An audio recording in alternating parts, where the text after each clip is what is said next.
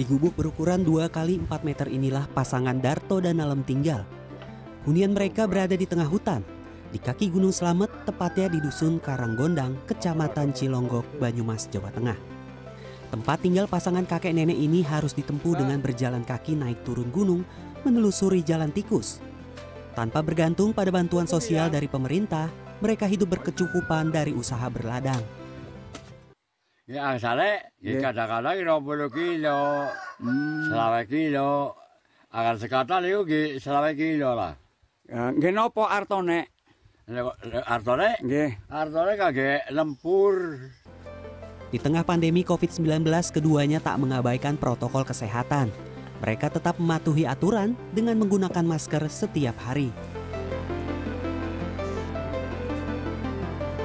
Demi bertahan hidup, sepasang warga lansia di Goa, Sulawesi Selatan harus hidup memprihatinkan di gubuk yang jauh dari permukiman penduduk. Pasangan ini bertahan hidup dengan mengandalkan air sungai dan upah hasil menggarap sawah milik warga. Daeng Nasang dan istrinya Sariana tinggal di gubuk berukuran 3 kali 3 meter di pinggiran persawahan di Dusun Kampung Parang, Kecamatan Barombong, Kabupaten Goa.